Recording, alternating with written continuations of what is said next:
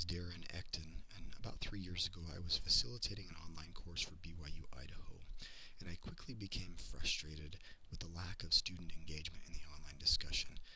And as a result, I learned three valuable lessons.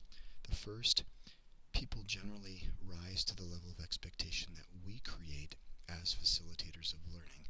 Now, that begins first with our spiritual preparation and our ability to share and convey that and invite them to do the same.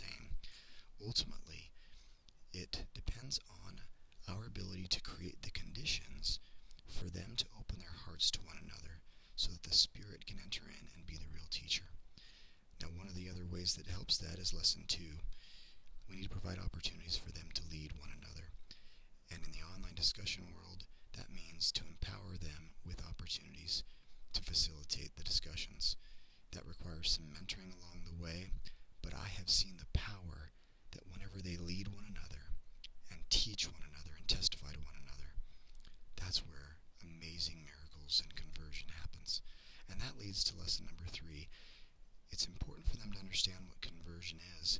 A lot of times they'll bear testimony of a principle. They'll say that they know it's important or true, but they often will stop there.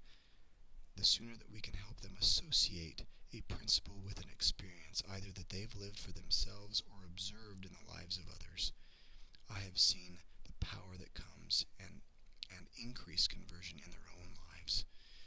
And I'm convinced that this simple